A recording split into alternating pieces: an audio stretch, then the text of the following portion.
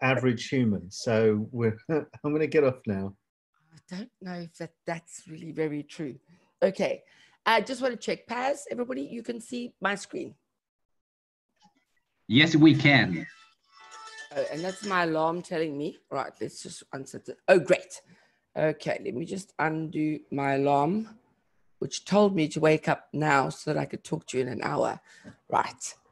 Hello, Australia and Johannesburg and all these other places. Okay, I'm so excited to be here. I'm so sorry that I've kept you waiting. Um, this is not going to be as long as, well, it, it's kind of timed to about 40 minutes, which gives us really nice time to possibly have discussion around this. Um, I'm going to pick up on Yagan's work from the 1st of October, um, the whole notion of operationalizing aspects of the LCT dimensions. But I'm going to go in the opposite direction. So, where he really took us into the nuts and bolts of that developing or fleshing out how you use, let's say, a particular tool or way to use it. I'm going to go in the in the opposite direction and take the tool out into the real world for you. So, um, for those of us who are familiar with the LCT tools, you know that the very first step is I don't know who who said the word first. I, it is probably Karl, but I know Sharon and, and, and Steve Kirk and other people have taken the notion of seeing much, well, uh, uh, uh, um, we've all written about it. That first step when you are trial and erroring, figuring out what's actually happening when you're looking at a knowledge practice is that moment when you see for the very first time what in fact is actually happening. Now, for me, this seeing was in 2013 when I was evaluating tutors at um, a university in, in, in South Africa. And I remember just sitting there and being able to see it.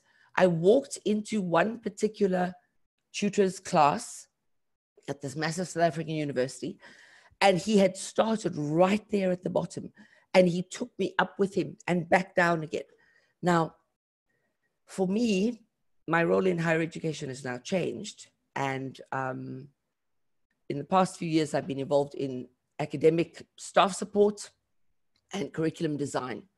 So there are two things that are really, really important in my work. One, it's that seeing thing to enable staff to see and then to use what they can see and the tools with which they have seen to proactively improve their curricula, their teaching.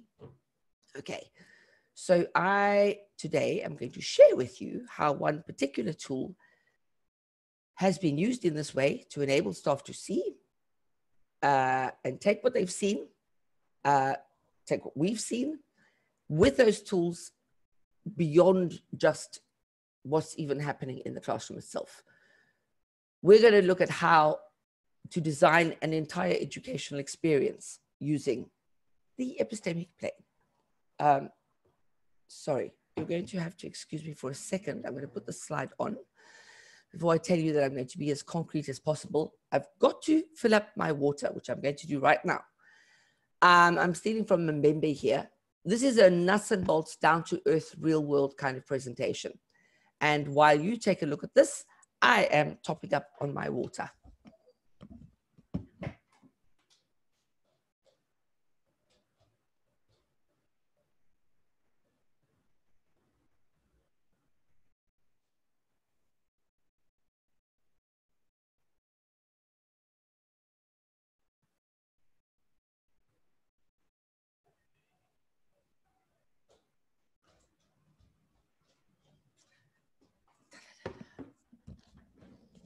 Right, we're back.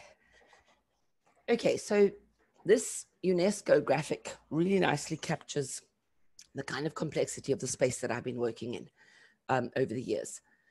Um, for those of you who know my work, the rationale for most of my work is this theory practice divide.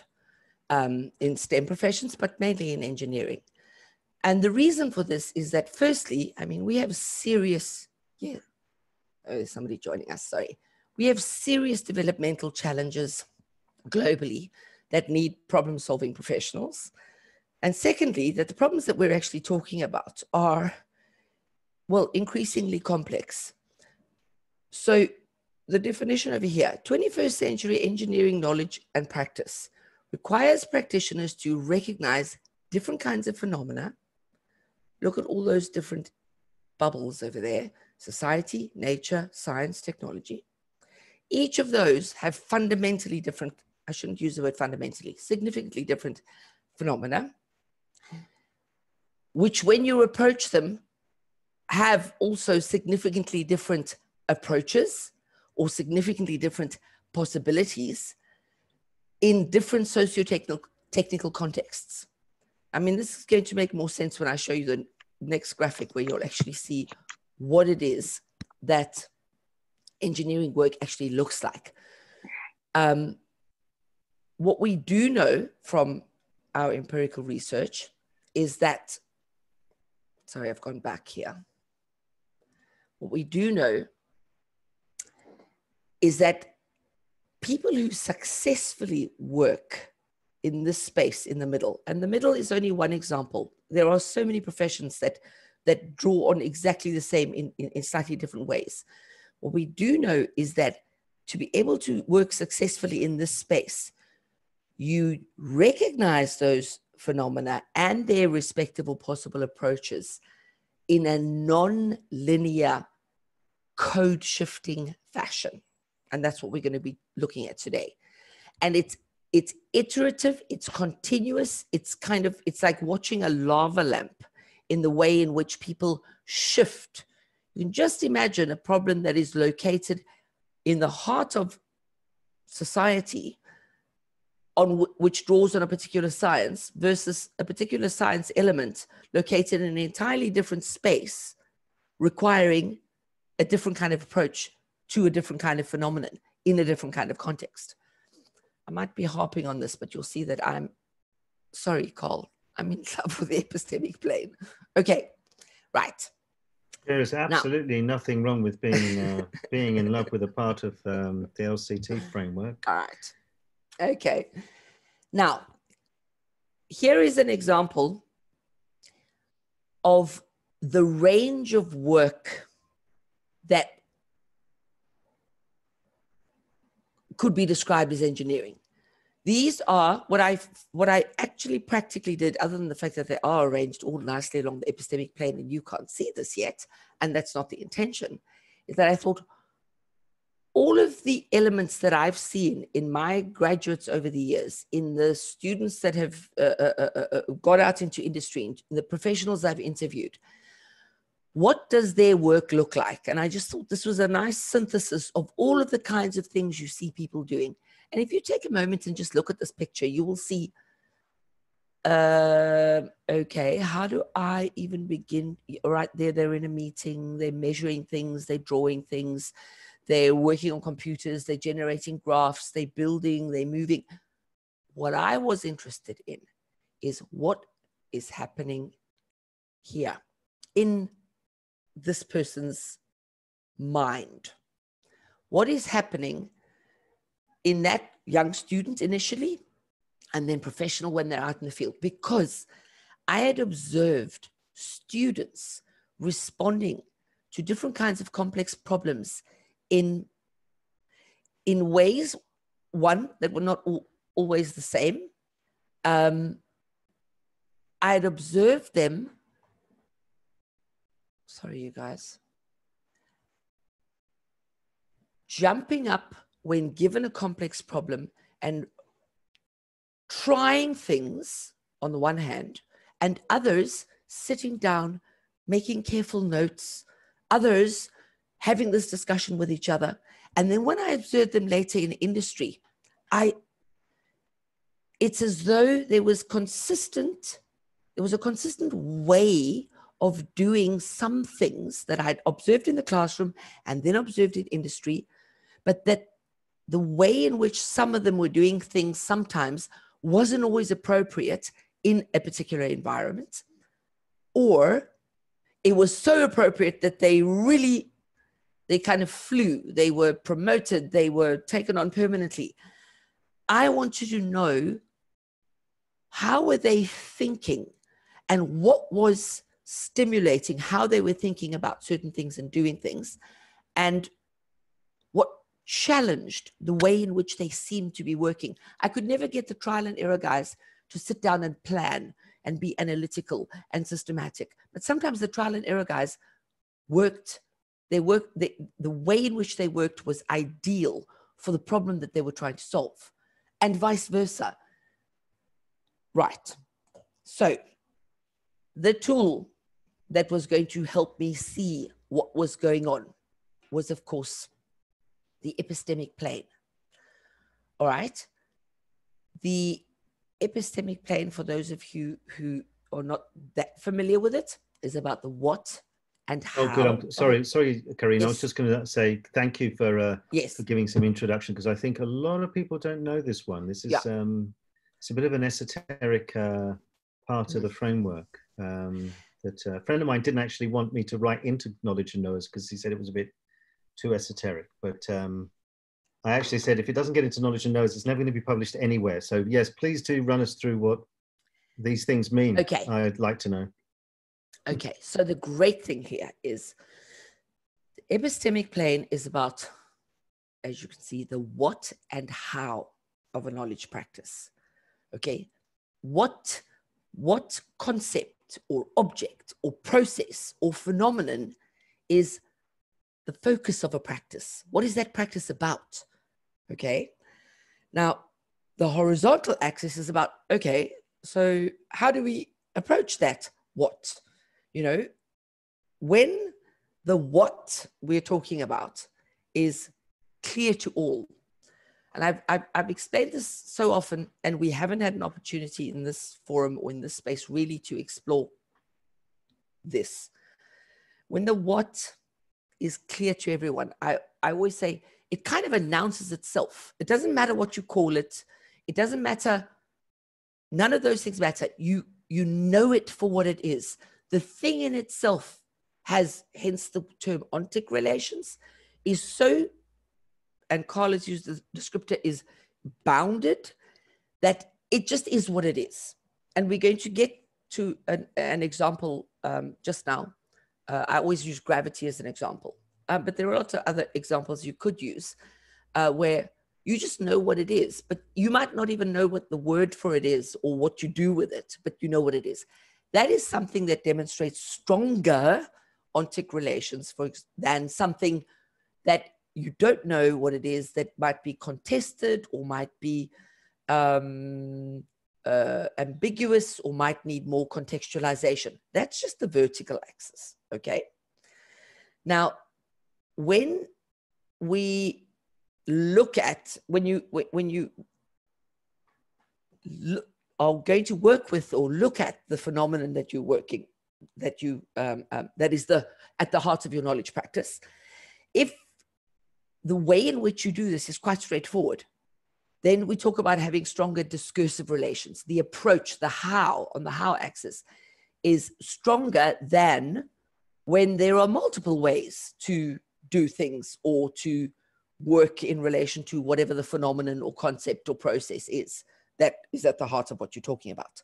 So this sets up, as with all the LCT uh, or many of the LCT tools, this relational plane.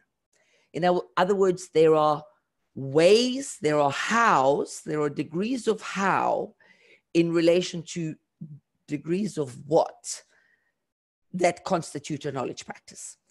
Now, we call those four relational ways um, insights. It, in other words, this plane gives us four ways of thinking, four codes. Now, for my PhD, I translated onto this plane. This is a simplified version of um, e- and uh, the interpretation device that I used. So when you are in that top right quadrant. In other words, the thing in itself is fundamentally there and established and clear to all, and the way in which you approach it is all fixed and clear, then the knowledge practice that we're talking about is based based on established principles and associated procedures, requires what we call purist insight. Okay? It's the thing that we wish most of our politicians could demonstrate when they are talking to us. In other words, if you saw them, I've just thumbsucked this for a moment, Karl. I'm thinking of you and your posts, and I'm just thinking it's exactly that. These terms are so nice because you can see them in action. Okay. Purist insight is tightly bounded nuts and bolts at the heart of something essence. And the whole practice reflects that. Then, if you move down to the bottom right, you'll see doctrinal insight is it doesn't matter what the thing is that it's that's being addressed. What's foregrounded in a particular practice is a, a method or a, a way of doing things irrespective of the phenomenon. Now, by the same token, when you shift up to the top left, it's okay, does it here it's not the how you do it that matters, but the thing in itself is important and the situation will tell you how to do it. The situation will give you or call for multiple possible approaches. And in the bottom left quadrant is I hope my, none of my serious senior people are in this session because a lot of education sits right here in the bottom left uh, on the left of the bottom left. In other words, demonstrating no insight. In other words, they don't, we don't know what the phenomenon is that at, that's at the heart of a practice. So we don't even know how to approach whatever it is because we don't know what we are. So many curricula sit down here. I'm going to get to this in a moment. Okay, that as the interpretation device or the or the or the translation device sits at the at the at the heart of um, my PhD and then postdoc work. And what I did with this, okay, interlude. What I noticed was that in the curriculum in which I was working in an technologist engineering classroom, that the core disciplines aligned themselves, had a natural home based orientation. The core disciplines in engineering have a, what, and it's important, a home based orientation. That the physical sciences or the natural sciences at the heart of engineering require predominantly or, or, or, or initially certainly a great deal of purist insight. The practices around the natural sciences are like that. Mathematical sciences are predominantly or demonstrate doctrinal insight because it doesn't, it doesn't matter what the phenomenon is. It's the way in which you use the maths. And economics is very similar as well. That's really important. Although don't argue with me about the economics because I've just thrown that out there. Now, on the top left, you'll see I've got the logic based up. All the technologies, all of our technologies are on the top left of our epistemic plane in the sense that the practice in which you're using or relating to a particular knowledge is about the phenomenon itself. What is it you want to do with it? How you do it is so varied. The situation will determine that. So the thought, and this is why I moved into the space, particularly with this tool, I was seeing a curriculum so strongly founded on the physical sciences and the mathematical sciences, and the assumption that the logic based sciences behaved like maths and science. And they don't. The logic based sciences being all information communication technologies and other forms of technologies. Okay. That was my first observation prior to my PhD that there is a different kind of thinking that's needed here. And I don't think that staff realize that to this extent. And it didn't help to say to them, but the kind of thinking you're using when you switch on a compu- computer or you're running a machine is different from the science principle behind why the machine is running or the mathematics behind how the machine is running. The technologies and the engineering science behind, let's say, the control system making that machine run in a certain way require very different kind of thinking. And I couldn't tap into this until I found the epistemic plane. Right. So using this instrument, I then went out. I'm not going to repeat my whole PhD. I've said this a million times at different LCT events. But the heart of this is it gave me a way to look at engineering practitioner knowledge practices and actually map sequentially what how they're thinking about what when they were solving a complex problem sometimes even a relatively simple problem but it it translates to a complex problem and this the thing i have never said to anyone and i said this yesterday because i trialed the whole platform PAS you'll be very impressed on someone, which is why I wasn't worried this morning. Um, I've seen so many, I've seen institutions and I've seen industries ready to throw out all the mathematics and the science in favor of problem based, project based learning that focuses on real world problems. And I knew that those observations of students doing things in certain ways when they were tackling a problem or a project that we given them. I knew that what was happening was we were seeing structured, structuring structures. We were seeing almost like neural pathway responses in the students that were working in certain ways that showed that they had a strong fundamental grasp, some of them, of the natural sciences or the mathematics or of these different, they were they were enacting a deep grasp of how a kind of knowledge worked at a certain moment in a certain context. And that I was worried about okay, if we're just going to throw projects at everybody and not give them any like of the fundamentals, uh, it doesn't have to be in as traditional a way as it has been, because I think that's the problem. Problem is the pedagogy and not necessarily the curriculum or the knowledge. So I was concerned about people throwing the baby out with the bathwater in terms of their way in which they were approaching some of the fundamental understanding that needs to come into a modern 21st century professional technology driven educational space. So this mapping helped me clarify how, who was thinking. Where were these examples of how they, were they drawing on natural science? I had to dig, obviously, to get it. It's not obvious to them. For these practitioners, they didn't even know half the time that they were even talking science or talking maths or talking, well, they knew they were talking technology, but they couldn't necessarily see the nuts and bolts underneath that. So I had a tool with which I could map a whole range of practitioners solving problems and these are just a few of the examples of what they look like.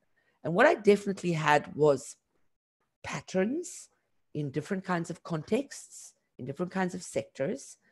But I now also had a body of work that I could take back to the academics I was working with in the curriculum and say, okay, so if this is what complex problem solving looks like, if this is what we're aiming at enabling our students to do,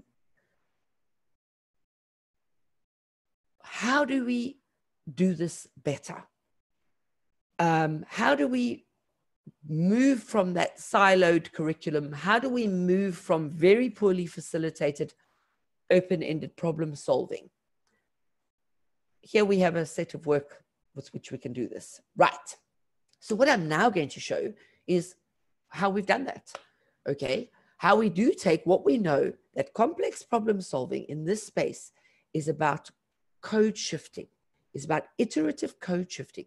It's about moving from one way of thinking about a certain aspect in a moment of a problem or a situation to another. And for the really fantastic case studies I've had, you can you can even see it in the way they speak. You can see it in the the the, the um, in the texts that they generate. Shows that shift in moving among the different codes. So I'm going to use the epistemic plane as my organizing framework. Uh, because Karl wouldn't let me put another axis on that went from macro to micro. I'm joking. I've realized, Karl, retrospectively, I must just say that using it as a meta framework, as a lens through which you then shift as well, is actually far better than what I was originally trying to explain. It's a little bit of an insider thing that.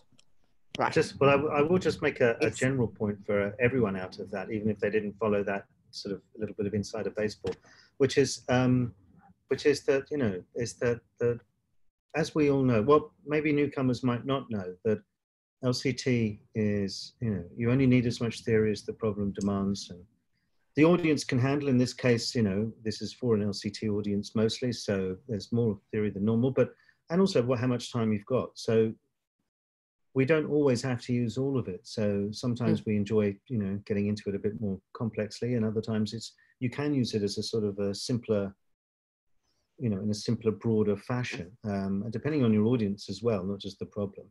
So I think that was one of the things you just sort of kind of pointing to there, and you're talking about using something as a sort of meta framework or whatever. Yes. Is that and, I'm always finding that I'm moving between sort of hard focused um, telephoto sort of analyses that require a lot of conceptual framework. And then I'm moving out, particularly depending on the audience, but I'm moving out to much more sort of soft focus and sort of wider often, mm. sort of mm. wide angled mm. analyses that are nowhere mm. near as nitty gritty. But what I love about LCT work is that however simply we put it across to people, we know that the engine room behind it is really yes detailed and complex and that so like for me it's like an iphone or a smartphone is that sometimes when it's done really really well it can seem really obvious and intuitive but underneath it inside that thing is some seriously good hardware and software. Mm. cool. So using this as an organizing framework i'm now going to take you through four examples of how this instrument has been used proactively in a kind of a instead of you know we're also used to there's something happening. How do i understand this? Or there's something happening in my classroom or there's something that needs to happen in my classroom or in whatever. Um, i use the tools to explain well to figure out why and to possibly explain why something is happening in a certain way here we're starting with a whole base of research, empirical research in the field of how people really solve problems in a complex fashion uh, or complex problems. And that it is about this explicit continuous code shifting or, or scaffolded code shifting if it's from our perspective, but they do it uh, as educators. So the starting point the at the heart of our work as academics is the curriculum. So for me, that requires the purist insight in terms of the analogy I'm trying to make over here now. So we're going to start in the purist quadrant with curriculum. Um, and then we're going to take what we know from there and move into the situational quadrant in other words, we're going to look at this curriculum in different possible situations or where the situation itself enables that curriculum to be enacted in a certain way. Then we're going to move down into the bottom left where it's not no insight, but now it's going to be knower insights and look at some of the stakeholders and knowers in the space reflected in our curriculum and look at a way of decolonizing STEM in this case. And I'm going to end up off with the mundane, horrible work that we all do as academics, um, all the admin and all that stuff. And I'm going to show you how the epistemic plane can be used to manage your academic work more effectively. So, so in each of these cases, remember, that's a starting orientation of a particular thing that we're going to look at, but we're going to code shift within each of those so that you understand how this actually works. Okay, let's go to curriculum. So the D- Department of Process Engineering at Stellenbosch University is absolutely fantastic. And I've collaborated with so many wonderful colleagues there. Um, and in this case, we took this epistemic plane in a collaboration and took a look at uh, what the third and fourth year subjects actually look like. In other words, what is it that they foreground? And I think you'll understand this for, for those of you who work in the sciences, you, you, you'll get this. I said this as an exercise. I said, well, let's look at a textbook. What does it say to you? Now, these are with people not necessarily that used to using uh, uh, LCT, okay? And if you open up the index and you look at the, well, you look at nominalizations or you look at the way in which people, look at the way the index is written. Um, if you just flip through, and I'm trying to kind of find a textbook that I could show this to you. If you flip through a textbook and trust me, the insight orientation will announce itself. You'll see it immediately. Okay. So when we started looking at the textbooks in these the in in the third and fourth year of the program, um, the documentation written around those, the tutorial briefs, the all of those things, then you could see. And the reason we've done this is I'd gone in with saying, my research has shown that industry is really concerned about our graduates not being able to work on the left hand side of this epistemic plane. In other words, towards more open ended problem solving, towards more situational or contextually rich uh, problems, as opposed to idealized on the right fixed one method problems. And so we, this particular colleague of mine, Christy Dolphin, um, has an initiative where he actually takes students out into the real world to um, um, the mines and on a whole week long kind of um, it was originally written as a stretching the semantic wave. In other words moving it really down into real context uh, real minds real work okay? And then he realized that okay let's let's look at this with a different tool. Those same students, why is it that they can't cope in that more open ended problem solving space? And I explained to them that if you haven't practiced code shifting, you can't just recognize, oh, I need a different kind of thinking now. Okay, I'm going to do it now. All right, I'm thinking differently now. Uh uh-uh. uh. we are talking about this practice. I mean, this is pure Vygotsky in a sense as well, in terms of reaching for and trying and moving, you know you've got to practice this. It's like a dancer, this kind of thinking. Um, and there was wonderful dancing work in LCT as well.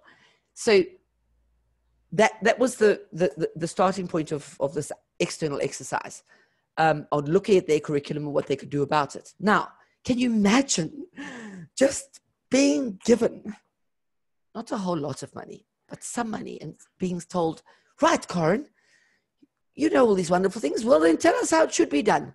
Here, blank slate. So, what I've done over the last three years, I've actually taken all of this and worked with a whole group of multidisciplinary part time people on designing the ideal curriculum in the ideal environment. When I say no, not, not ideal, ideal is the wrong word, a real curriculum in a real potential environment. And this Karl, Maton, you will be pleased to know, is on every single document that has gone to the government and the Council on Higher Education and to the Engineering Council. And I've had to have discussions with them about, and it's explained really, really simply, okay? But at the heart of our curriculum is the principle of epistemic code shifting iterative epistemic code shifting that grows over time. Uh, let me just find my notes on this. Okay. This kind of iterative practice is what the students in our Stadio engineering qualifications are going to experience every single moment, every single day, in every single subject, in every single week, in every single trimester, in every single program. It's an orchestrated, not limited, linearly orchestrated, but an orchestrated shifting at all times around this epistemic plane to at you know different degrees of complexity, different levels. You'll see what this looks like in a second. Here we go. So here, for example, is just mapping the primary graduate attribute kind of focal areas to a particular insight. Okay. And those are the numbers. So here on the left hand side, we've got the numbers which are indicate the graduate attributes. And in those quadrants, we've got okay, the heart of your the lectures. There's no such thing as a lecture in our teaching environment. It's it's, it's a slightly different experience, but has to anchor the fundamental principles. The tutorials and some of the practicals are for the immersion into and the development of the kinds of practices that require more doctrinal insight. The different kinds of more complex practicals and projects are for the stretching into the development of situational insight. In other words, this iterative move of drawing on something fundamental that comes from my purist insight and that has been practiced through doctrinal insight that I now apply in a project. So, in other words, there's no project at the end. Our students do projects all the time in relation to the others, as well as integrated projects. Okay? So, I mean, just imagine there is a major project first year and the second year and the third year. But in each trimester, there's also a kind of a mini project. And the whole point is that it's carefully scaffolded so as to enable this iterative code shifting that we practice them in. Okay? Now, we've used the tool then in all our documentation. So here you can see We've used the epistemic. This is exactly what the documentation looks like, Professor Maton. So, in other words, the epistemic plane is flying around all of these official, uh, well, around officialdom. They've they've got these. So, this is just a breakdown which we we go into uh, of the kinds of the assessments that you can have, and what the typical kind of focus of a particular kind of assessment is and how you can move that assessment into it takes on a different nature when you approach it with a different insight for example okay?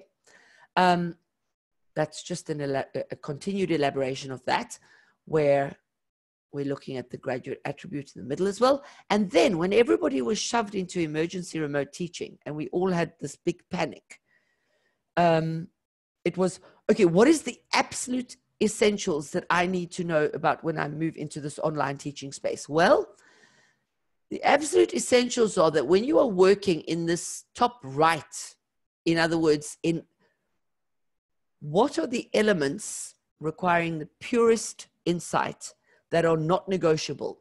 They are things like, for example, threshold concepts and enabling threshold concept discussions, uh, the linking of concepts, because that's where the whole cumulative knowledge building, you're developing purist insight through cumulative knowledge building, by the way, um, because you're developing this fundamental grasp of something, the essence of something. Um, what are, again, in emergency remote teaching, from a doctrinal perspective of videos of application examples, videos of, um, for all of those poor lecturers who had to move their practicals indoors.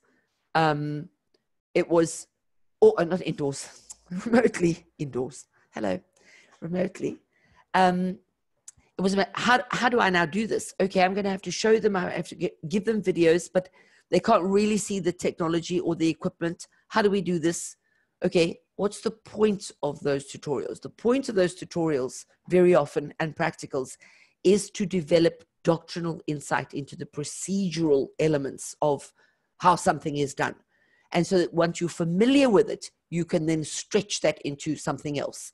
What's happened during this period, and this is really interesting, is that a lot of the teaching work that would normally be on the bottom right, some of it has actually been shifted to the top left, in other words, to requiring more situational insight, in other words, more open ended problems uh, find something in your environment that you can see out of your window which you could describe or write or analyze etc upload it to a forum it's going to be interesting to see how that plays out. I've just realized there's another research project. Sorry.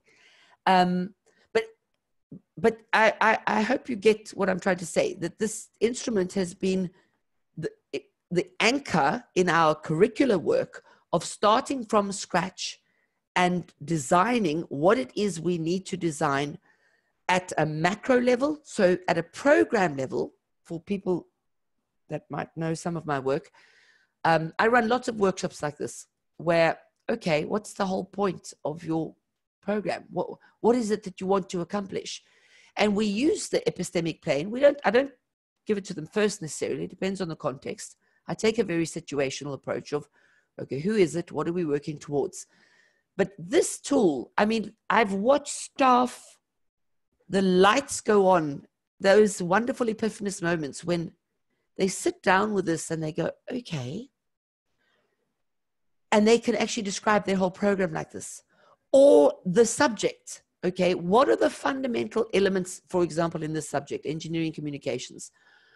What are the elements of this subject, curriculum, or the syllabus that needs to be underpinned with purist insight. What is it? Well, please note that we've even got the word code shifting in, in our engineering communication um, subject guide. Uh, but it's a way of focusing on something very specific in relation to a particular feature and then shifting to approaching that element in your curriculum with the kind of thinking that is demonstrated by the four quadrants. So that's at program level, that's at subject level, that's at assessment weighting level. You've seen this. I want to move on. Right. So now we have this wonderful potential code shifting curriculum. Where's it going to happen? So, what probably my most exciting work is the fact that I can actually design the real environment. Now, in during my PhD, I've now moved on. I've code shifted everybody. We're moving into situational quadrant with me.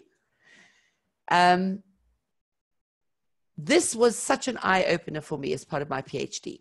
I remember walking into this company, and other than the fact that this person had written about solving this problem in a way that was so wonderful and beautiful, um, and I mean, I knew the student, he'd been a student of mine and was now a graduate. And he, was the only one who had this problem solving, the only one with this beautiful circle. None of these problem solving maps are the way to do it. There's no the way to do it. This is just the way he did it. Um, but what I realized when I walked into this environment, I'm going to read it. I believe that the holistic, successful, macro to micro problem solving process undertaken by this practitioner was facilitated by the infrastructural features of the specific environmental context. And that these demonstrate a company that explicitly recognizes and realizes different forms of legitimate practices, which in turn are recognized and realized by the practitioner. This was a case of a code match. This practitioner is technologist so belonged in, in this space. This company worked with the World Health Organization, okay? So it's high end kind of work. And when you walked in, you walked in here at the reception area. I'm going to go right through. And opposite that, you saw, you know, the HR manager's office and the marketing person's office and the, I don't know, whatever the others were. All of them looked totally different. They were not mm, like concrete and glass cubicles at all. They definitely had a distinct identity. And I, uh, so you could see they were, they were underpinned by kind of situational insight. Each of those areas within this particular company is significantly different. And, but opposite this area, this dedicated training area, these, this incredible space, which so clearly said science in its signage, in in in just the way it was laid out, in the whole protocol about going into the venue in the first place, and then of course the section in which my um, um, participants, research participant worked, the maintenance section, this doctrinally sequenced, very set, ordered little sequence of uh, like labs for very specific purposes. But in the middle, this open area that looked like a coffee shop, um, this kind of no, what I've labeled a Noah area. Now, these spaces in that environment were so well, and all of the sort of light blue there, that's actually glass. You could see each other. And what made sense for me was what fell into place was the reason that this young man, well, one of the reasons he was so successful in the space, and I've subsequently seen it in many other spaces, was that the space echoes the kind of thinking valued by the company and it and it demonstrates the a way of thinking in other words code shifting is the way of thinking here so using that as a principle we have now designed an explicit code shifting environment. I've just got the slide up there to show you that my wonderful team, we were previously Stadio Multiversity, it's now Stadio Higher Education. And this is our integrated learning environment. You can see in my office here, by the way, I mean, the epistemic plane is everywhere. It's with me. I use it all the time. So it's on my board. So my team have absorbed this. They've never studied it formally. It's there. The epistemic plane is there. The semantic wave is there. There's a whole lot of these tools are all there. But our integrated learning environment is one in which groups of students are able to work together. That's the starting point because engineers always work in teams, whether remotely or, or, or actually physically together, they work in teams. Um, but in this environment, what you can see is we have dedicated doctrinal insight requiring stations, mechanical, electronic, and 3D printing, and a whole lot of other ones, in, in fixed spaces in this environment. There are situational insight orientated spaces, like all the areas with the whiteboards where students in fact this is this is repeated four times on every wall in this integrated learning environment you have these brainstorming spaces and then you have these doctrinal spaces and then you have the project lab and project areas that are kind of situational spaces you have the facilitator who for all intents and purposes eh, is meant to kind of be a purist orientated anchor of things um, and how you work in the space is as follows. Um, my right hand, Lauren van Breda, presented this at um, a conference last year, and this is what it looks like. Um, the nature of work that happens in that integrated learning environment shifts both from a from a timetable perspective as well as from a how you engage with whom. Students, well, because I've trialed this at Cape Town School of Engineering as well, we, we, we know how this works. So these are just examples, graphic examples of how students are encouraged or facilitated to develop a particular kind of insight in relation to how they're learning to do engineering. Um, I mean, the bottom right is obvious. You know, the you know the safety glasses on. There's procedural. You can't actually see the the, the, the picture on the board, but there's there's you know all the the protocols are there. So these workstations, which students get up and work at, while others are working on their project, and yet others are listening to uh, a quiet lecture in the corner, or a there's no such thing as somebody standing talking at you for five hours. You don't learn to do engineering like that but you can have all the benefits of somebody standing talking to you for five hours in an entirely different way. And I will show you that's my big secret. Um, and still engage in ways that shift you around the epistemic plane so that you can see that there are different ways to approach some things, that there are some fundamental ways that are not negotiable. And that whole thing extends all the way to my fantastic user interface. I'm just keeping an eye on time here because you know Karin can go on. Okay, right. So this notion of supporting code shifting learning must go to the learner management system to the user interface. So at the moment, this is the trial that I've, this is a mock-up of, of, of what I'm developing. Um, there is no single learning platform that can actually let me do this. So I'm actually doing it myself in HTML. Aren't I fantastic? Which has been a serious learning curve. It is important for us every single day, a student will log on and this is what they'll see. There's a progress bar at the top. When you click into this particular cell, because here's the problem. If you linearize the whole learning experience and you only, Marnell, please tell me you want to sell me something. I can see somebody trying to connect to audio. Oh, Marnell switching her audio off. Sorry, sidetracked. Um, you're, you're so rigidly controlling what actually you, you're removing elements that can ha- happen more naturalistically or happen more intuitively for students. Um, do not start me learning at a micro level and tell me, oh, I don't need to know the bigger picture, bigger reason why. I need to learn in the opposite. Okay, why are we doing this? In that sense, it's from a purist perspective of what's the fundamental principle here? Why? Ah, right. Don't start me in the doctrinal quadrant. Don't start me. I want to actually be able to see that bigger picture. So see the plane. So our students will see the epistemic plane every day of their lives. Uh, you, you're going to have to ask for royalties. I mean, for lots of money, Karl. Okay, so now we're going to move. So now imagine you've got this code shift facilitating environment.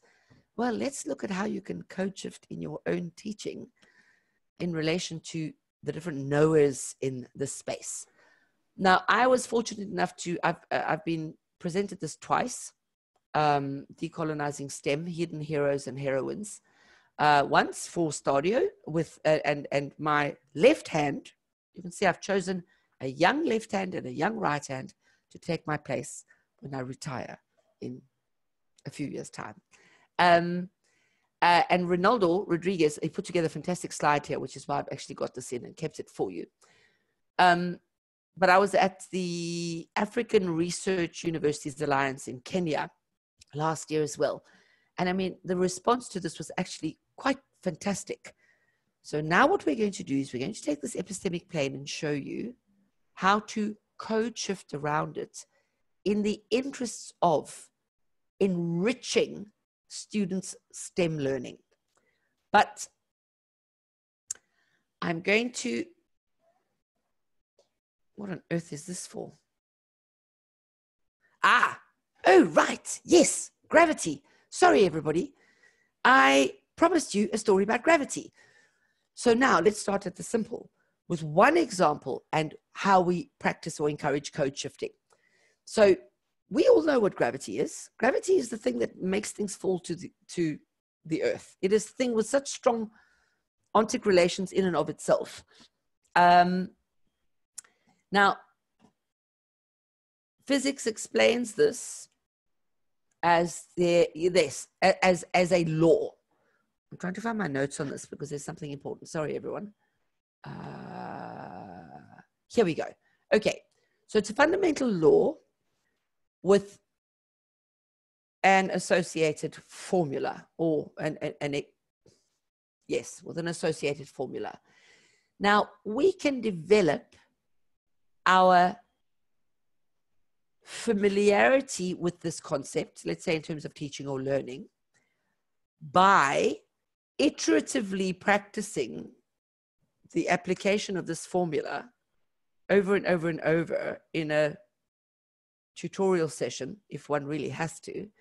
But it's more likely that I will develop a better familiarity with it if I stretch, if I, let's say I take that doctrinally insight, the doctrinal insight required aspect of coming to grips with gravity, that practice that I'm going to do, those endless calculations that I'm going to do, if I try them on different things. In other words, if I take those in relation to different, how gravity plays out in different situations, I'm more likely to develop a stronger grasp of this. Okay, there are multiple examples of where and why gravity is important. But I can enrich this even further if I look at, well, okay, I know there's some hardcore people here who are going to argue with me about this. And it doesn't have to be of, we're now going to do the history of gravity. but you can enrich students' understanding and, and even potential love of a concept by exploring well, where does it come from? How come it's there? To turn to semantics for a moment, which I'm going to be looking at now again, um, this is not just about using apples and simulating this and dropping this and keeping students learning down in very specific contexts or context bound, but it's about enriching. There are so many wonderful stories. It doesn't have to be apples falling on people's heads out of trees, okay? But this is a way to take a single concept. So you saw earlier the whole program fleshed out on the epistemic plane. You've seen a subject fleshed out. This is just one concept. Flesh it out. What are the features of that particular concept that you can see on the epistemic plane and then move between them? How would you move? How would you shift most appropriately among those elements, those conceptual elements to enable conceptual grasp? So now, this is something I'm not going to spend time on, but I am going to say that our entire curriculum um, is every single one of the concepts and everything how it's linked together is dependent on uh, uh, uh, we use semantics not part of this talk at all but most of you or many of you are more familiar with semantics. And we have seven fundamental science principles which we have rewritten ourselves which i've been obsessing about for a long time. And those principles are in every single one of our curricula. And what we do is we build them iteratively over time Okay, so each of these principles picks up on an element, and I can, sh- I mean, I can show you what it phys- practically looks like. It's a massive Excel spreadsheet, but it's we constantly return to it. So that semantic motion, that cumulative learning, okay, um, um, which is built into our curricula, and we are using the Bloom's as for we aren't using Bloom's really. I've used it on this graphic, and we used it at the presentations. We're using something else. You'll see in a second. But if you took the cumulative learning process that can happen across the sciences that underpin engineering practice, such as the concepts behind tools and methods, properties and states, forces, motion, energy, information, and systems, um, there are key people or the concepts of key people over time in such a curriculum. Okay. And Google just represents systems and everything at the top. And that cumulative learning is very comparable to code shifting. Look at how clever that is. Okay. Now, this is why I'm showing you this. So, when we're engaging our students in the fundamentals and we want them to grasp something. Why not shift, for example? Um, I mean, we all know Einstein developed our old famous equation that describes the relationship between mass and energy, and it led to the creation of the atomic bomb. Why not also tell our students about Samira Musa? Now, Samira Musa in Egypt uh, developed the equation to break the atoms of cheap metals, making the medical application of nuclear technology, such as X rays, more accessible. Okay, it's not a competition, you guys. This is not replacement, this is a, an enrichment. All right? Uh, Isaac Newton almost needs no introduction, okay, but every single final year student's project, the scientific method, that's also Isaac Newton. But why not also tell them about um, Ibn al Haytham scientific method 700 years before Newton? Okay. It's a way of enriching a student's grasp of why something has emerged and has become so useful and how it has been used in different contexts.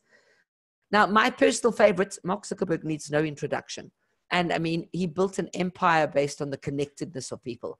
But Jamila Abbas, now she's younger than most of us on this forum, saw that farmers were being, small scale farmers were being done in, okay, because uh, the lack of bargaining power, because they didn't have access to the latest information. She created a simple mobile phone platform to provide critical information to small scale farmers so that they could organize themselves, pool their resources and actually have some kind of bargaining power in terms of the market. Okay, these are wonderful ways to kind of enrich our students' understandings of concepts.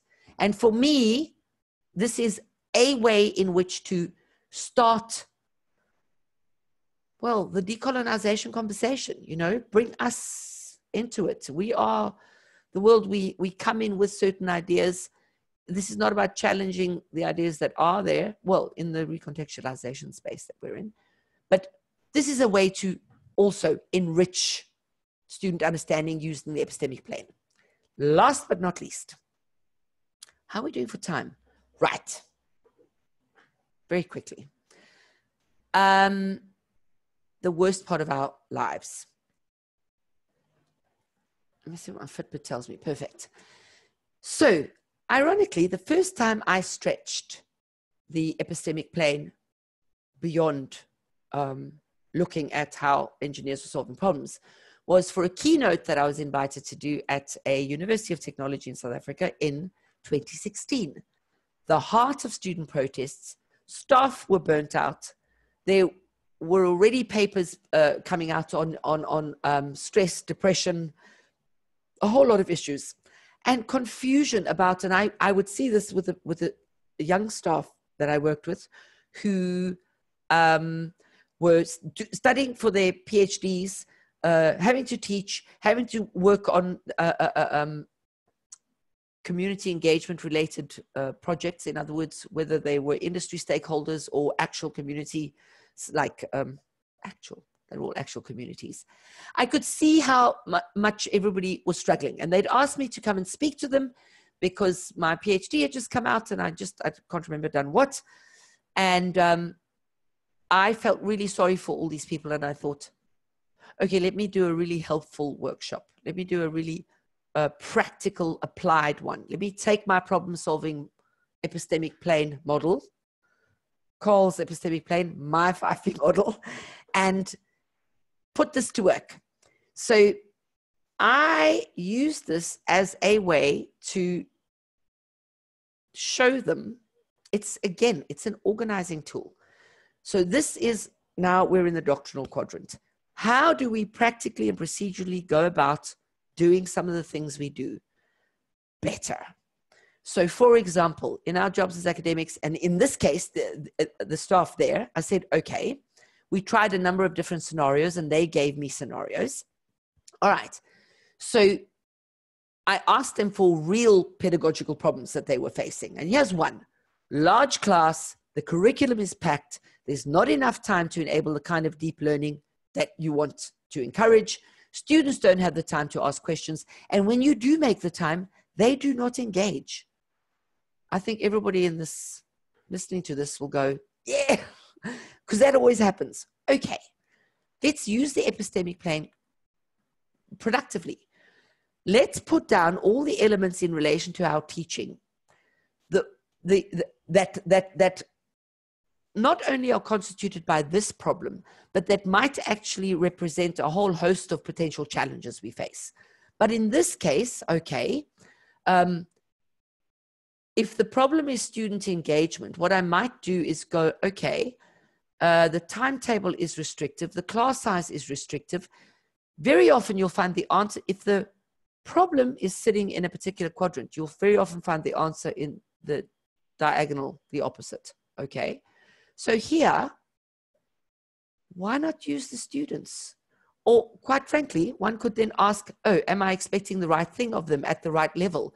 Uh, could I not integrate their better understanding of these things through student engagement by collab- collaborating with a colleague?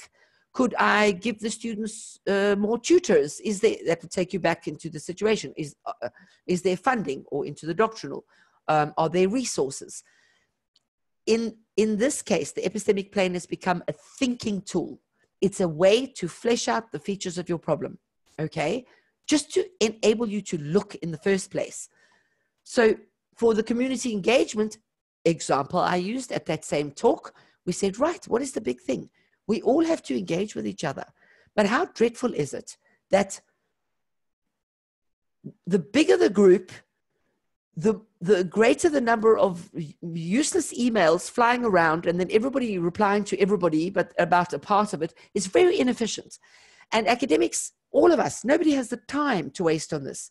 So let's say your problem is don't have the time but you want to work efficiently with a whole host of stakeholders. In this case let's say in your bottom left hand quadrant. And the concept is efficiency. Uh let's look at the doctrinal procedures we've got in place.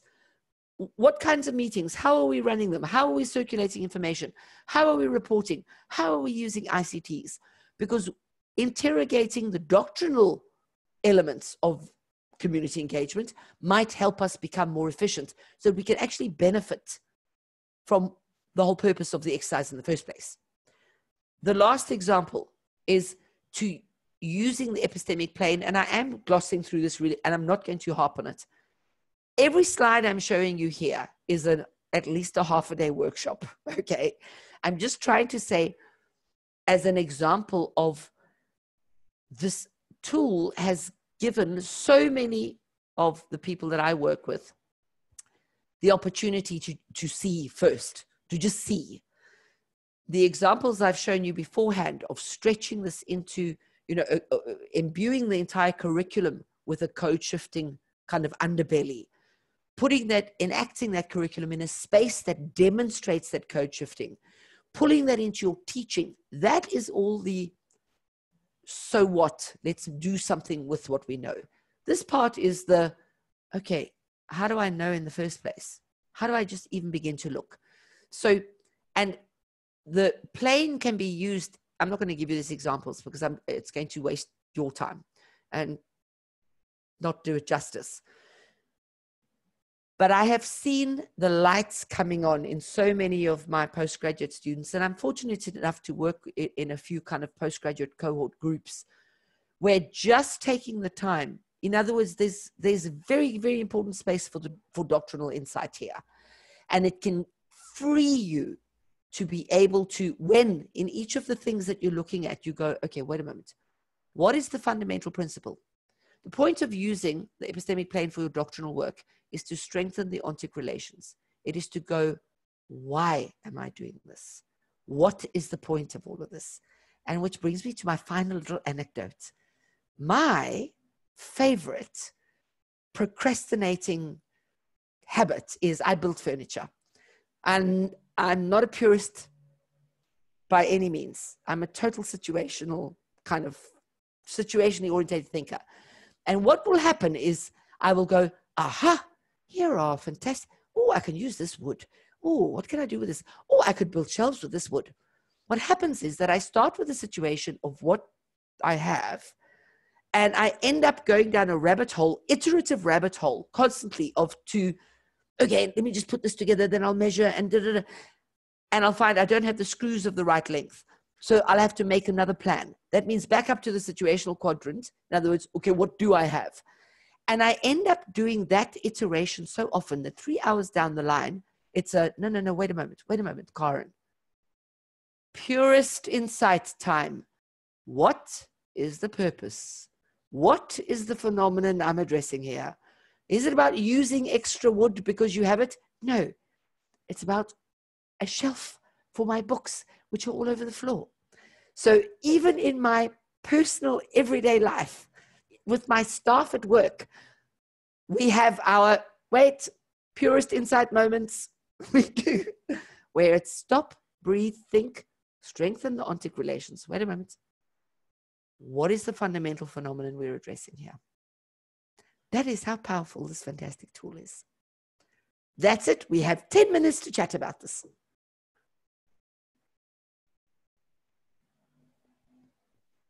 Thank you. Uh, thank you, Karin. Um, that's, oh, look at that. It's animated. Thank you, Karin. Um, I mean, lots of um, uh, comments in the chat. People, please just unmute So I'll okay. just say very briefly, by the way, that uh, you weren't the only person who didn't realize that um, the time ah. changed. Uh, so um, we'll send out a message to the email forum to remind everyone whenever there is a change in Sydney's time. But um, for those who arrived late, we will recorded this so that people can catch up um, very shortly. When did you change, Karl? What date was it? It wasn't Well, just it's me, between- but um, It was around October. Um, Yes, no, but we had we had Jagen on the first of October, which is why it was the fourth. Of, my- It was the fourth of October. It was just after Oh, uh, sherbet. Okay, all right. So that's on, that's on us. Um, that's on us. Uh, so um, uh, we'll let everyone know uh, just to remind them to check on their local time planner. But for those people who did arrive late, um, still you've you've missed a great one, but you haven't because we've recorded this. So we will be putting this onto the LCT Centre's YouTube channel at some point. But in the meantime, please just jump in and unmute yourself Yes. and say anything or anything or everything. Don't just let me do it. I'm just looking through the chat here that you were all chatting on.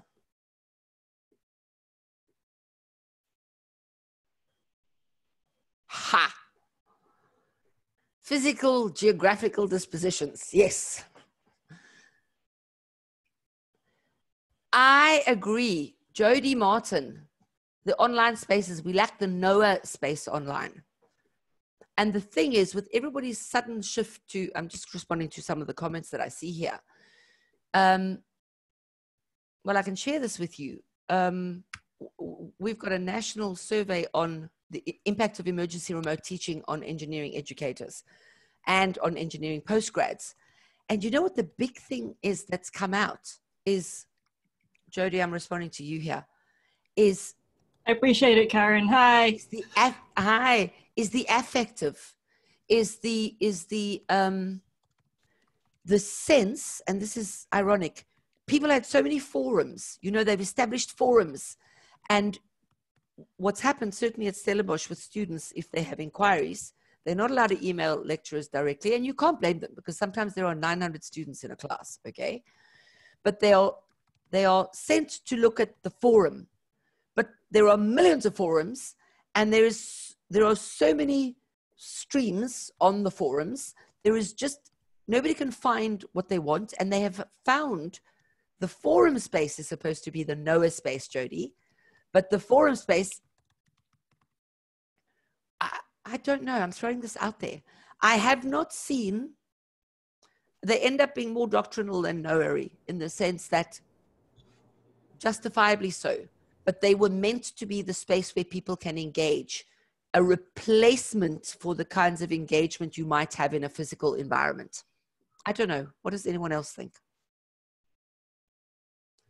That's a really interesting point because I've struggled with that exactly myself. Um, most of my students are in China, which severely limits the platforms I can use, but I've seen a lot of people use. Uh, colleagues use things like Padlet or whatever, which allows more of a person and character putting photos and videos and, and laying out in different ways that the online platforms just don't allow Mm.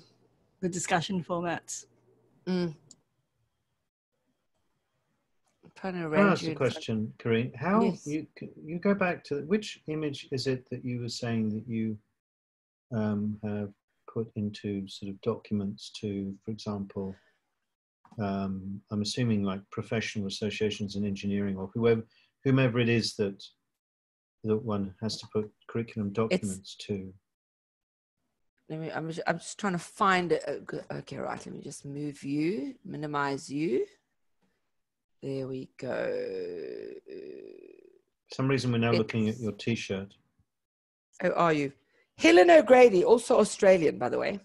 Yeah, because I had to tilt it forward. I've got a massive bank of screens here, everybody. Um, I also note that you've got a lovely uh, Cartesian plane from LCT just over your shoulder. of course, that's what I said to you. It's on my board. Any meeting, and this is a blackboard. it's a blackboard, an old-fashioned one. One of my colleagues said he thinks that his students wouldn't even know what that was because they've never ever seen a blackboard, a real blackboard. Blackboard, whiteboard, epistemic plane. Uh, this is the document I've used that's gone with every single all of these.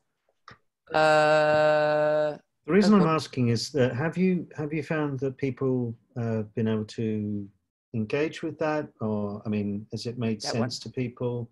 Um, I mean, I think one of the things that people were well, is it both of those images that are, that are sharing? Ah, I've just put them, yes, but it's, you must remember it's in text and it's surrounded by text.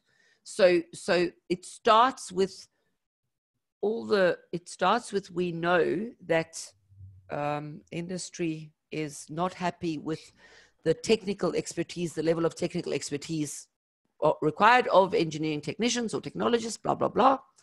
And what we also know is that, and it's very simply put, and then we've used that's the, the summary that we've gone.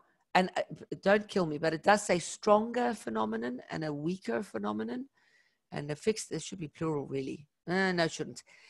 It's that's what's in the documents. It's not stronger and weaker phenomena. It's different descriptors, but well, we've used that. Yeah. Yeah. I mean, you know, it, one always has to just talk to the audience. It's not about yes. theoretical purity. Which but is, I had to fly by up way, to see them. Yeah.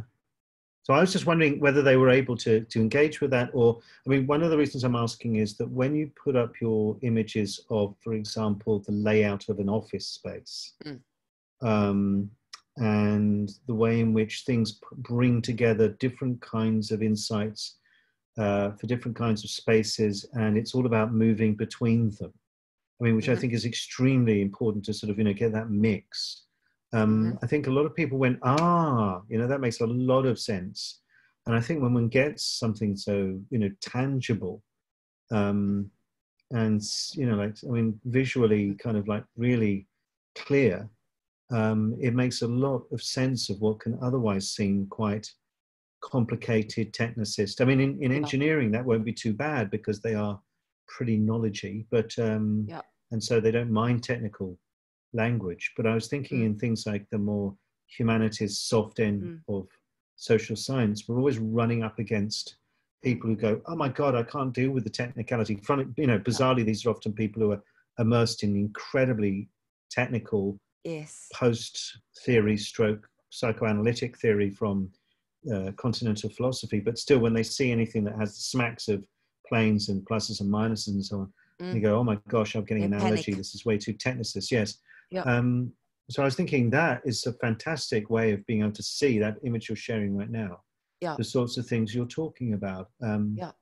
Uh, and I think you've also captured something incredibly important to LCT, which is it's not about one one code being best one set of i mean like one of the things i often get asked by newcomers in say lecturers usually in say china for example is which code is the best one?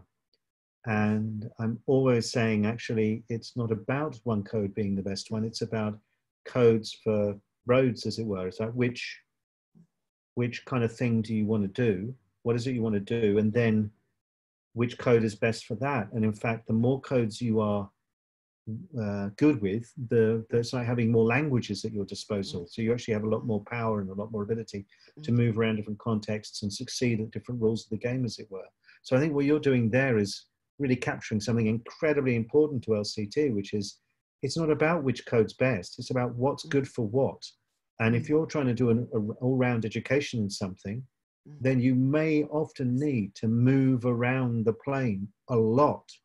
Mm. and, and not stick in one thing or another. So, I mean, LCT is so dead against this trench warfare and this moving back and forth between this is good, no, that's good, this is good, no, that's good. You know, doing things in person is really good. No, you know, doing it in context, no, no, doing it in a lecture hall or whatever. It's so tedious, and knowing that you need to move between these is really important. I've just seen a very important and, and, and, and another element is where do you start people? And I see here that mm. uh, Penny has asked, would different students come in through different quadrant, quadrants? Indeed. And I think that's the point. What I was observing before I even started uh, uh, uh on my PhD here was that some students just worked in some ways naturally. They have an orientation to something. Sorry. But when they went into industry, if they were placed in the wrong place, the, the, the, the other part of them, um, there was, let's say, for example, most of our students that come in on the technician programs are situational insight people. They are people who, they are, we have an expression in Afrikaans, a boer maak 'n plan, a farmer makes a plan. And it's, uh, what can I do with what I have with what I've got? It's very much situational problem solving, okay? Um, contextually dependent. Now, those kind of people actually don't work well in highly regulated, large scale, procedurally protocoled companies, which is why they fail. A lot of these companies actually can't get the right staff because actually they don't want engineers or technicians or technologists. They want ants or robots. Okay. And there's nothing wrong with that. But declare your position. Okay. You can't pretend you want human beings and that you're interested in how they feel or how they're going to be adapt your company when actually what you want is just an entire automated system to churn out things very very quickly okay there's no judgment call here but those are the kinds of code clashes we saw so you'll find a student being taken on because they maybe have a can do attitude at a company, but actually the company wants highly regulated, very routinized, almost automated precision working of the workers. And those people, they leave. They, they can't cope in environments like that.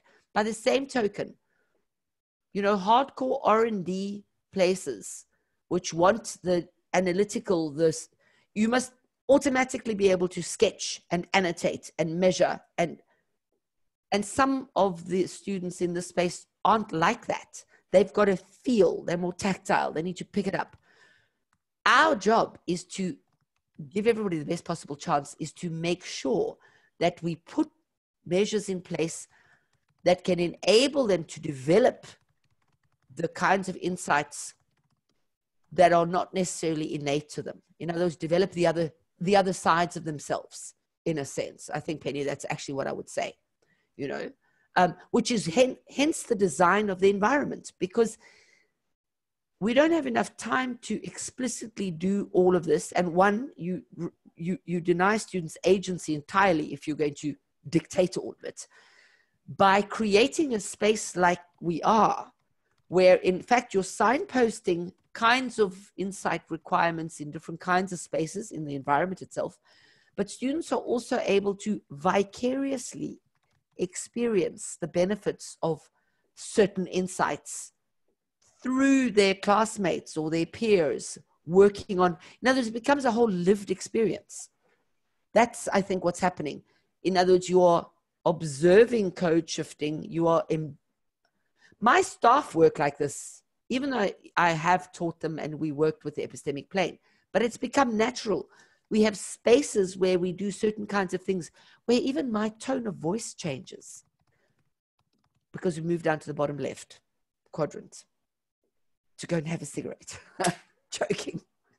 I'm just saying that that it becomes almost like a way of life. People are going to say I sound like a what do I sound like? I sound like a convert. I love the epistemic plane. Okay, everyone. Any other questions or any other feedback? I'm quite yes, happy I should, to. I should be yes? doing my uh, thing of bringing it to a close soon, but yes, go for it. Go for it. Karin? Somebody else? Yes? Oh, Hi, Nicholas. Nick Hello. West from. Yes, how are you doing? Hello, Nick. I'm doing very well, thank good, you. Good, good. Good, good. Um, it's, it, your talk reminded me of something quite that has bothered me over the years. And uh, um, engineering is one of those disciplines that is incredibly linked to society and very often we have to deal with people and understand people and talk to people. And it's always amused me how in many cases all the social um, responsibility courses uh, end up in the final year. Yes. And uh, rather than woven in in a way um, throughout the years. And that's exactly what you're describing. Effectively the times we're spending far too much time uh, I suppose, on the um, situational purist and doctrinal in a way, um, and not so much time actually yes. in a in a knower code, and um, yeah. allowing engineers to, in a way, it's an it's it's a it's a double whammy because, in a way, engineers I think are uh, intuitively inclined to these aspects, but they are not those aspects are not cultivated. Um, throughout the the curriculum. Uh, and then, and I think yeah. it's. Hmm? Come again? They're not valued. They're not valued in the classroom yes, at not all. not And legitimated at all. certain exactly, and they're not legitimated because of our assessment practices. We are assessing on the right hand side because it's easier, it's quicker, it's faster because there's one answer and there's one thing we're addressing. Uh, no disrespect Not to my dis- colleagues, that, and all of them are trying to shift in their ways left. Sorry, Nick, to interrupt you, but yes, carry on. As I said, it's uh, it's. I mean, going through engineering, everyone speaks about the uh, the arty-farty stuff, you know. But actually, if you the joke is if you actually speak to many engineers, they are actually quite arty-farty themselves by by definition, and that's what an engineer does. And it's such a Mhm. shame, as I said, that it's not actually woven in. And uh, so, uh, thank you. It is. It's. It's a. It's a very very good point. Cool. I like the fact that the thing about you said that people are arty farty. Sorry, I'm trying to find my other rest of my screen. Um, all the engineers that I know, uh, it's music and art and uh, very interesting philosophy. Mm-hmm. Indeed. Anyone else? Yes.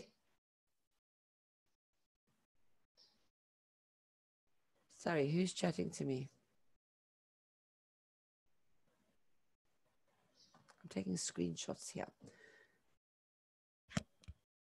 Okay, I think um, I think we uh, uh, have uh, exceeded our time. Yes. Um, so what I'm going to do is to uh, say thank you very much, Karin, and I'm glad you made it. And um, we've now sent out an email to everyone reminding them to check uh, the times. And and also uh, I managed to get the date wrong on that email. So uh, yes, that's quite ironic. When you look in the emails, you'll see what I'm talking about. But um, thank you so much. What we're going to do is we've recorded this, and if it's okay Cool. with you, we'll um, upload this to the LCT Centre's YouTube channel when we've got a moment uh, in the not too distant future, um, so that those who arrive late can um, uh, um, come and see how much uh, I'm being attacked by a dog. Can s- come and see um, uh, how innovative uh, and uh, and really amazing some of this stuff is in terms of things like uh, learning spaces and so on. There was so much in that talk that I know that people are able to take in all sorts of directions. Um, just as one example, uh, at one point Jack Walton said, "Oh, this is uh, really important for music." So engineering, music, you know, online teaching, remote teaching. So there's loads there.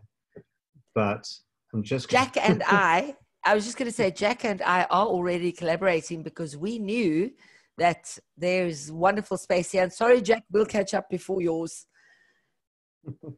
We have well, a lovely. fantastic. So thank you so much to everybody for coming along, and uh, very much hope to see you in two weeks' time. And uh, as will be Vincent. Cool. What did you say, Vincent? Hello, Vincent. Hello, Vincent. one of the one of the dogs of LCT. And um, uh, thank you everybody for being here. Cool. And I hope to see you all in two weeks' time. Thank you again, Karin. Awesome. thank you for being able to so do it. everyone. So quickly Cool. after waking up. Five minutes. Right. Goodbye. Bye, everyone. Have an awesome week. oh dear. Thank you, Karin, for managing to do that. Um, did you get text messages from me? I don't know if your message, your mobile's changed or not. My mobile is here. I've got about 20 million text messages from you. My phone was on silent. And when I So, saw only two, I think I only I sent realized two. I, I sent several. I, I rang up several times as well. And I was think, wondering whether you. Uh, I didn't have your landline, so. Um, I don't have a landline anymore. Ah, and my phone oh. wasn't silent. I cannot believe this. Right. Big It was going straight. Actually, it was said that you were busy, so I wasn't able to get in touch with you to say wake up. And then I saw another number and I phoned it and it was Lee Rusznyak. Thank you. He Yes, said, Lee Rusznyak. I said, so Oh my God, do not tell me. Do not tell me. She said, No, sir. I said, I've got it as eight o'clock. My alarm is set. And yeah everything." well we learn we learn we Yeah, um you we, have uh, we do time. have a thing in the uh, in the in the in the signature saying please check your local time here but i don't i mean uh, i don't think anybody realized that we'd moved so uh, it's up to it's on us uh, that we we didn't tell But- everybody we should have done so we will do in Yeah. future but also I'm bad. now I'm going to change all the others because I would have, like some others, signed up at eight o'clock our time and have been an hour in for next time. Who's on next? Is it yeah It's Lee. Is- Lee. It's Lee. Yes, Right. It's Lee. It's Lee. Lee, I Um, promise I won't be late for yours. So, Right. well, I mean, what we'll do is, I think what we'll do is normally we wait until after. Uh, normally we wait until after the end of. Um, uh, uh, Paz, can you cut the recording? We really don't need all this Yeah. at the end of it for the YouTube, YouTube channel. Um, uh,